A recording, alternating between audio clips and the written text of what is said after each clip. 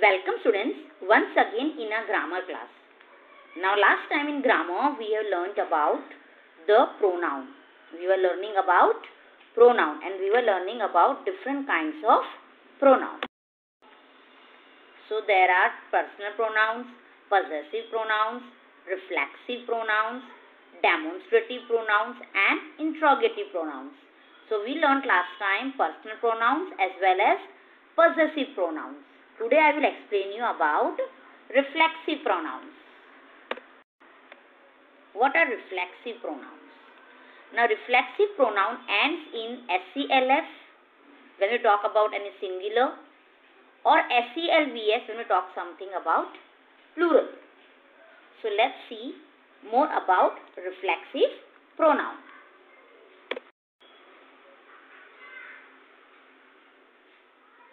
So we can say for singular myself, yourself, himself, herself, itself and for plural we can say ourselves, yourselves and themselves. Now what are reflexive pronouns? Reflexive pronouns are used when the object is same as the subject. For example, he hurt himself. So here he and himself refer to the same person. Means I will give you a live one some simple example. When you look at the mirror, what we can see? We can see our own reflection. Like that way, reflexive pronoun means the, sub, the object reflects the subject. Let's see some example. Like that way, if some I suppose my subject is I, so it will be object will become myself.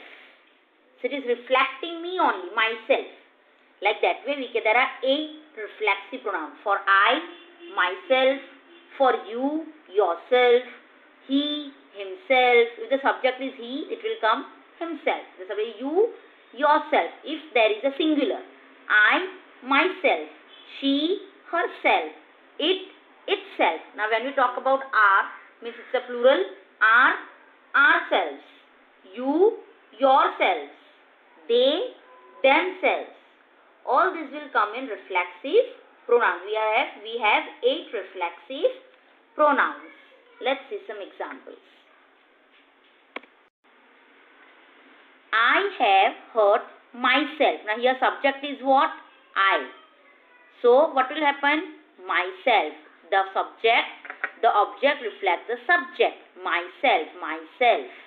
I have hurt myself. We have hurt ourselves. Now we, we is a subject.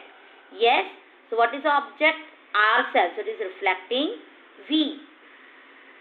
I play myself. Again here myself came. I, myself. I wash myself. Again here myself referred to I. I write myself. Again here myself referred to I.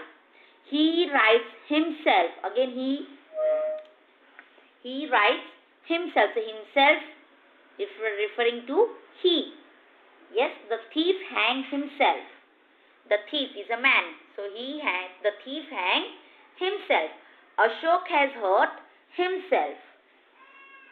She hurts herself. Again we can say herself is an object is reflecting she, the subject.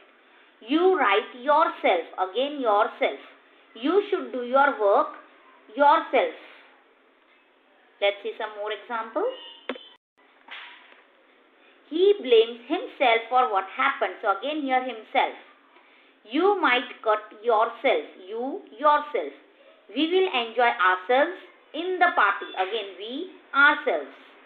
She made a cup of tea for herself. So she herself. He was talking to himself. She did the job by herself. I look myself in the mirror. I always do my homework myself. So myself reflects to I. He never does his homework himself. Again here himself reflects to he. They bought new toys for themselves. So they themselves.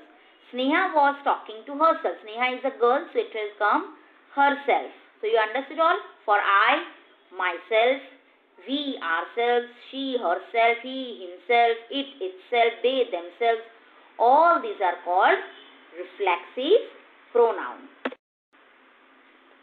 Hope you have understood this topic about reflexive pronoun. Thank you.